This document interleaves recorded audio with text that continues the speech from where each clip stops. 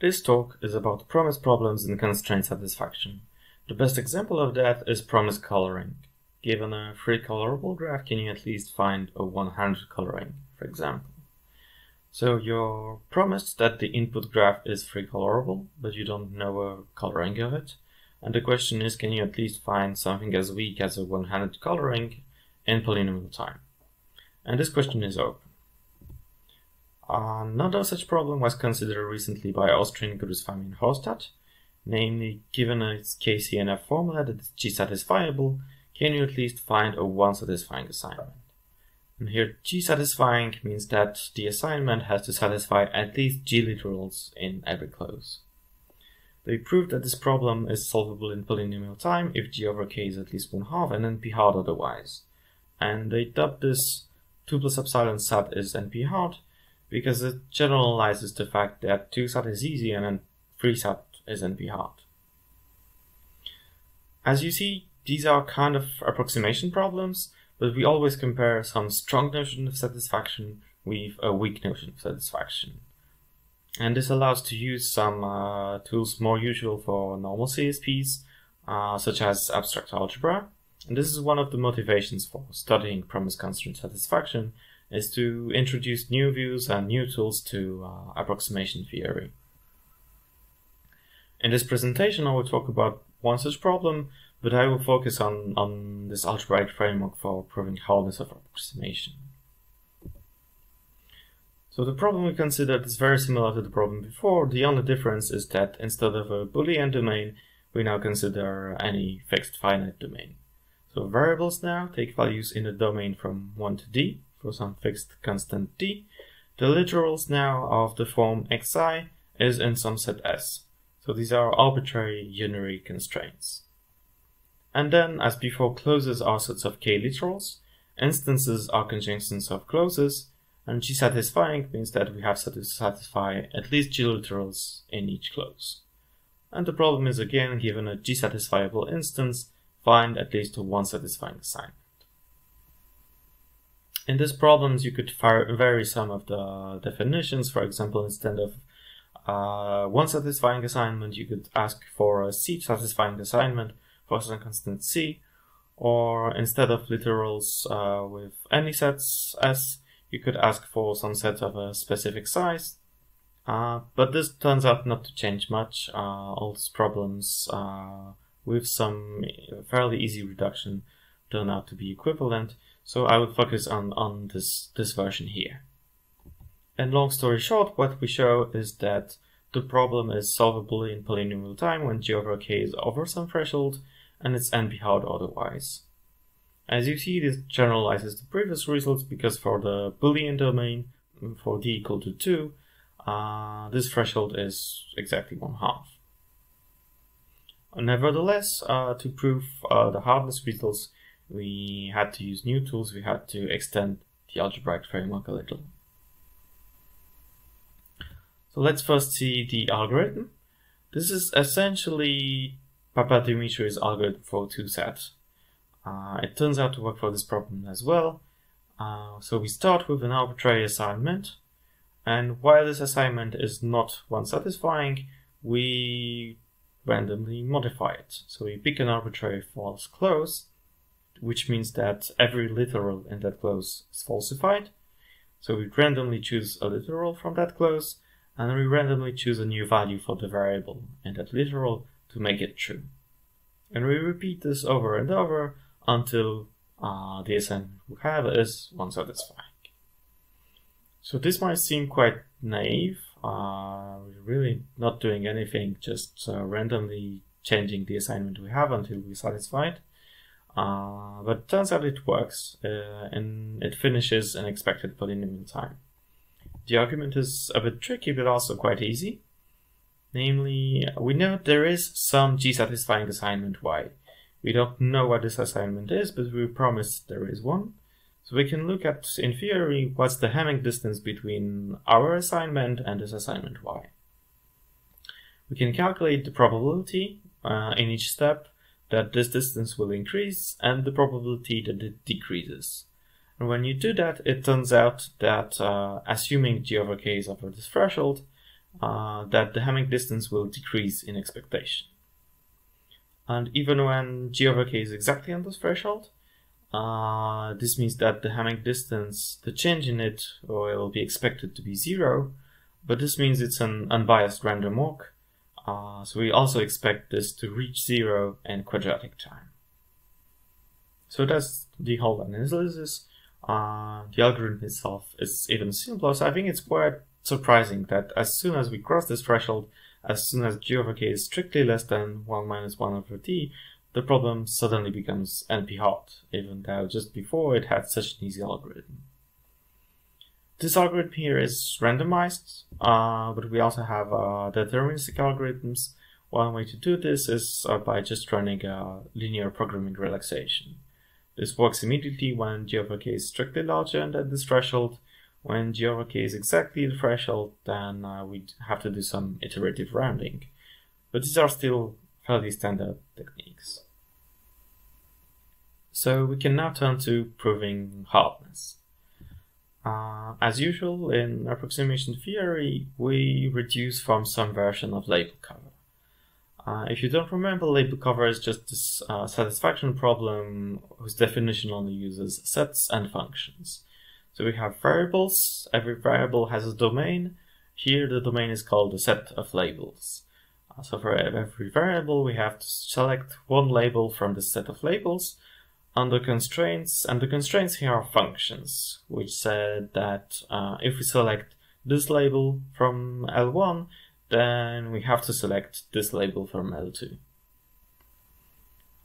This figure here is an example. You have sets of labels L1, L2, L3, some functions between some of those sets of labels, and I've selected a satisfying assignment with green diamonds here.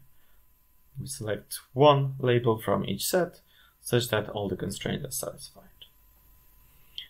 As you might know, one version of the PCP theorem says that given a fully satisfiable instance, it is NP hard to satisfy even just a small constant fraction of it.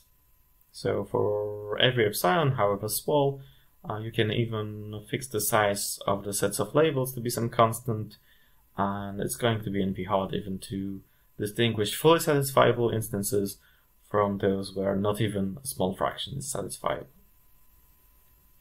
A slightly more combinatorial corollary of this is that the following is NP-hard. So given a fully satisfiable instance, it's NP-hard to select from each set of labels a subset of at most seven labels, so that what you select for i intersects what you select for j after you apply the function pi. And why is that? Simply because if you could select such sets uh, of at most seven labels, then you could pick one of those labels at random and then every constraint is satisfied with probability at least 1 over 49, so you've satisfied some constant fraction of all constraints. And we know this is NP-hard by the PCP theorem. So that's one corollary, uh, which will be important throughout, so I will keep it on top of the slides. And with this example, I can state what the gist is of the abstract algebraic approach to promise constraint satisfaction problem. Namely, arguably, the fundamental theorem here is that every PCSP is equivalent to some label cover version. So to some problem of the following form, given a fully satisfiable instance of label cover, find a way to select for each variable i a something on li so that uh, what you select for i agrees in some way with what you selected for J.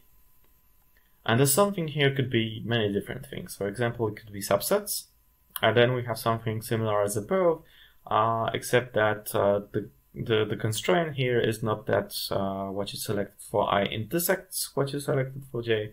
It has to be exactly the same when you look uh, at the image for pi. Uh, another important example of what somethings on a could be uh, is distributions. So it could be distributions on a line. And this gives a version of label cover, which is solvable in polynomial time by linear programming. Uh, this will be important at the end, I'll return to that. But uh, really it turns out to be interesting to look at this abstractly, that some things really could be anything. Uh, you only have to define how pi transform uh, those things. This sets up a framework, for example, for showing hardness of approximation. What we have to do is we have to understand what the somethings are, how pi transforms them, so what constraints they satisfy. Then we get some version of label cover, and what we have to do is just to show that this specific version of label cover is NP-hard. And the theorem gives us a concrete definition for what the somethings are. Uh, for example, in our set problems, this will be functions with L inputs, um, which map G satisfying K tuples to 1 satisfying K tuples. The exact definition here won't be important for the talk. It's only important that uh, the somethings will be functions with L inputs, uh, which somehow encode those strong satisfying conditions and the weak satisfying conditions. So we have this version of label cover, which is NP-hard, and we know that set sat is equivalent to a version of label cover with polymorphisms, so with some functions with L inputs. Uh, so find a way to select for each variable i a polymorphism fi on li inputs so that uh, pi of fi is equal to fj. Pi of fi here means the function you get from fi by you rewiring the inputs according to the function pi and this has to be exactly the function fj. So how is this helpful? Uh, for example, you could consider the case when uh, all polymorphisms are project projections. So suppose we could show that all polymorphisms of set sets are projections, which means uh, functions of a very simple form, f of x1 to xl, are just outputs one of the inputs. In that case, selecting f, selecting such a polymorphism is the same as selecting the label small l from the set of labels. So this would be exactly the same as just solving the label cover instance in the usual sense. And this is of course NP-hard. This is NP-hard even, even without using the PCP theorem. So this uh, condition suffices, for example, for the problem of uh, for coloring three colorable graphs. In that case, the polymorphisms are projections. This is uh, fairly easy to show, and because of the, that, the problem is NP-hard. Uh, this is not true for set set, but there are some more general conditions. For example, if we could show that all polymorphisms of set set only depend on a few inputs. So every polymorphism f is in fact just a function of some of the inputs and all the other inputs can be disregarded then selecting such a function f is the same as selecting this subset of uh, inputs. And as we know, this, this is NP-hard. It's NP-hard to select a bounded size uh, set of labels from this set. So if we could show this, we would be happy, would be finished, the, the problem would be NP-hard. Uh, there are some other conditions. If we could prove that there's a small fixing set, for example, so a small set such that fixing uh, some inputs there makes the remainder of the function constant. Uh, this would be enough. Or more generally, if you could fix some of the inputs such that uh, the output avoids one possible value, uh, and if you could show that there aren't many disjoint avoiding sets, then this would be enough to show NP hardness. Unfortunately, none of these conditions are true for set set, in fact, uh, the closer you get uh, to this threshold for g over k, uh, the more badly the more badly all of these conditions fail. Instead, what we could prove for set set is something uh, a bit more subtle. Uh, we call this uh, having small smug sets. So this means you could set some of the inputs to A and have the output A uh, even though all of the other inputs are different from A. Uh, the important thing here is that uh, for a set to be smug, we only have to show it for one uh, input vector. This turns out to be a little bit problematic, and let me explain why. Let's first see what happens when f only depends on uh, a small set of inputs. So if f only depends on some small set uh, s uh, of the inputs, then I claim that pi of f only depends on the image of that set, pi of s. So on the figure here we have a set L of uh, five labels, a set L prime of three labels, uh, some function pi between them, and then pi of f is defined as follows. Pi of f of, on input x, y, z uh, is defined as f of x, x, y, y, z. As I said, we just rewire the inputs according to the function pi. Uh, so if we assume that, for example, f only depends on the first three uh, inputs, then we clearly see that uh, pi of f only depends on x and y. So, so we have this exact correspondence that f, if f only depends on s, then pi of f only depends on pi of s. We'd like something similar for our sets. Unfortunately, it's not true. So for example, uh, if f has a smug set uh, as here, so there is some input b1, b2, aaa with output a, um, then the problem is this input is not of the form xx, y, y, z in general. And this means we cannot deduce anything about the function pi of f. Instead, we have something in the other direction. If pi f has a smug set S, then the pre-image of that set is a smug set of F. And you can check that easily. Uh, if you have this input at the bottom, B1, A, B2, then this induces an input vector at the top, B1, B1, A, A, B2, and we see that uh, if this set of A's at, at the bottom is smug, then the pre-image of it is a smug set at the top.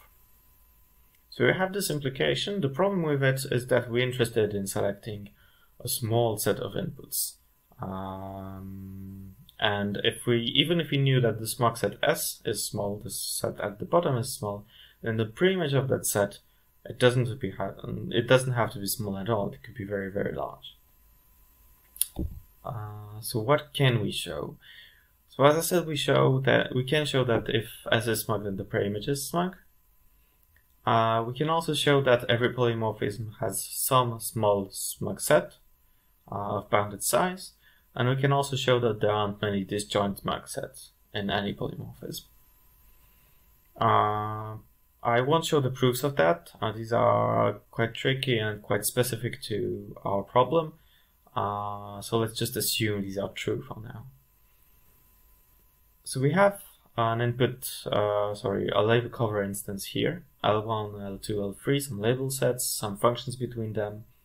And we've selected in L3 a small smug set uh, in green here. We can look at the spray image and we've also selected some small smug set in L2 and in general it's going to be disjoint from that pre-image.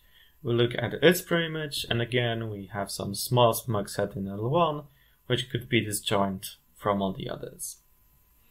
But we can repeat this over and over, and we see that at the top we always have those uh, smug sets, those pre-images of smug sets, which are disjoint, and also smug sets. Uh, and we cannot have too many of them, so we know that at some point some two of them have to intersect. So this is what we can show. We can show that for every chain of length k in the label cover instance, there are some two levels here L1 and L3, such that uh, the small smug set we've selected for one level intersects the one we selected for the other level after applying the function pi. And this is the version of label cover we have to show is NP-hard. In fact, we show something even slightly stronger. Uh, given a fully satisfiable label cover instance, it is NP-hard to find an assignment such that at least epsilon of all k-chains have at least one satisfied arrow. So the gap here is even larger than in um, the PCP theorem. Uh, if the instance is fully satisfiable, then this means that in every k-chain, every arrow is satisfied. Instead, we require something very, very weak that uh, in a small fraction of all k-chains, just one arrow per chain is satisfied. And even this weak, weak condition is, is NP hard, as it turns out. But the proof is not very hard. It uses known tools. Uh, essentially, we start from the PCP theorem and we do uh, parallel repetition. So once we know this statement, it's fairly easy to show, and this ends the proof. This shows that uh, our problem, we started from the set set problem, is NP-hard. So that's how the framework works. We have to look at polymorphisms of set set. We have to show that in some sense they distinguish a small set of variables. Uh, we have to understand how the small, cell, small sets of variables behave, and then we get some version of label cover, and we have to show that this version of label cover isn't beyond. That's the general framework. So I will end with some open questions. One question is, can we reconcile the analytic methods with the algebraic framework? Uh, so in approximation theory, analytic methods such as Fourier analysis um, or just probability theory or just basically any quantitative methods uh, have been very, very successful, very powerful uh, for, for hardness of approximation. And here we made it a point to avoid them, to introduce new methods, but uh, it would be very interesting to, to merge the two. If you're looking for some specific problems, then of course there's the promise coloring problem, which is still open. So for example, uh, is k coloring a free color graph NP-hard for k at least 6? Uh, it's conjectured to be NP-hard always, um, but we really don't know. A similar problem is with promise graph uh, homomorphism. For example, uh, for coloring a graph that admits a homomorphism to a long odd cycle. And I mentioned this problem because polymorphisms here, uh, we know the polymorphisms here are similar in some way to continuous maps from the L-dimensional torus to the projective plane. Uh, so it seems that algebraic uh, topology could be very, very successful here. The problem is we just don't know algebraic topology too well. So if you want something more uh, combinatorial, uh, there's, for example, many hypergraph coloring problems. Uh, there's many variants, many results, many open questions. And last but not least, I wanted to mention that this is not only about uh, proving hardness, uh, hardness of approximation, it's also about algorithms. So, for example, Brakensiek and Cruz very recently showed that a certain combination of two algorithms works very well. So the first algorithm is essentially linear programming. I mentioned that uh, when discussing those label covered variants. Uh, those some things on L could be distributions on L, and that this variant of label cover can be solved in polynomial time uh, by linear programming. And some problems can be reduced to that version of label cover, and therefore they are solvable in polynomial time. This is one way of showing that things are solvable in polynomial time. And this is possible, for example, for a set sort problem when over k is below this threshold. This is solvable by linear programming. This can be rephrased as choosing uh, those weights, WL, uh, real non-negative weights that sum to 1. This is what a distribution is. Uh, in similar vein, instead of uh, real non-negative weights, you could ask for integer weights uh, that sum to 1. And then this this version is again solvable in polynomial time Gaussian elimination, and this again solves some other CSP problems. And it turns out uh, that if you merge those two, if you do the two at the same time, with this condition at the bottom, then this is still solvable in polynomial time, and it turns out this solves many more problems. So the hope is, uh, with with ideas like this, we can find uh, simple but very general algorithms that solve many different CSP problems. Thank you for listening.